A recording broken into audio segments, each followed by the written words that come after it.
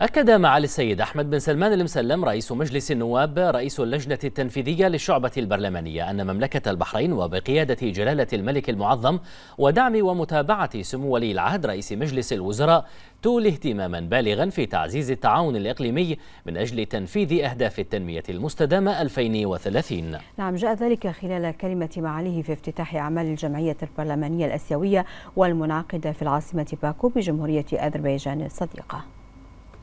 حضور الكرام يسعدنا المشاركة اليوم في هذا الاجتماع البرلماني الهام والذي ينعقد لبحث موضوع تعزيز التعاون الإقليمي من أجل التنمية المستدامة في آسيا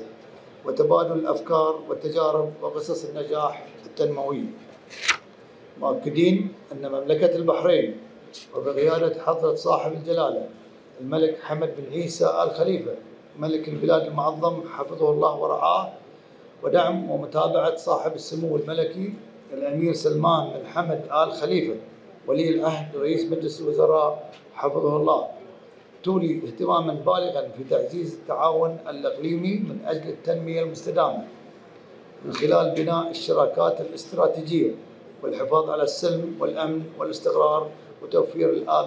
البيئة الآمنة والمزدهرة. وضمن جهودها لضمان التنمية المستدامة وتعزيزها فقد أطلقت مملكة البحرين إطار الأمم المتحدة للتعاون في مجال التنمية المستدامة 2021-2022 كما وأكدت مملكة البحرين خلال رئاستها لحوار التعاون الآسيوي للفترة 2021-2022 على تعميق التنسيق والتعاون مع الشركاء وتوسيع جميع القدرات وتسخير كافة الإمكانيات واستثمار كافة الفرص والثروات لتعزيز التنمية الشاملة والمستدامة والازدهار في جميع أنحاء آسيا وتحقيق أهداف حوار التعاون الآسيوي.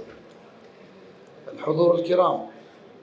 إن النصوص دستور مملكة البحرين ومبادئ ميثاق العمل الوطني الذي احتفلت مملكة البحرين في الأسبوع الماضي بالذكرى الثالثة والعشرين لإقراره عبر الإجماع الشعبي العام وحينما تلاقت الرؤية الملكية مع الإرادة الوطنية. وقد رسخت مفاهيم التنمية المستدامة على كافة الأصعدة